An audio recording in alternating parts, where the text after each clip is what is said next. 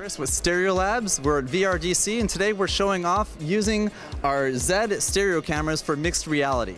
So we have sensors right here with two regular CMOS cameras just at a fixed baseline and just from those images we're able to scan the environment in real time and at the same time know where the sensor is in relation to that. So what you see this gentleman right here, he's got our sensor mounted to the front of the Rift.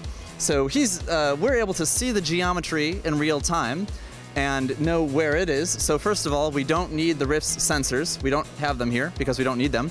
But more importantly, we're able to add virtual elements to the real world and we can do everything like we know how to occlude objects. If a drone is behind something, you don't see it. If it's in front of something, it occludes it. We can cast light on surfaces, we can cast shadows, we can have real and virtual objects collide and, and do the, all that physics.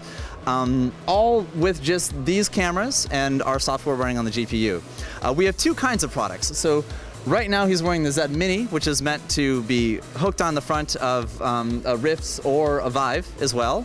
Um, and then you can build a mixed reality application using hardware that you may already own with 110 degrees field of view and with a full power of discrete graphics and everything else.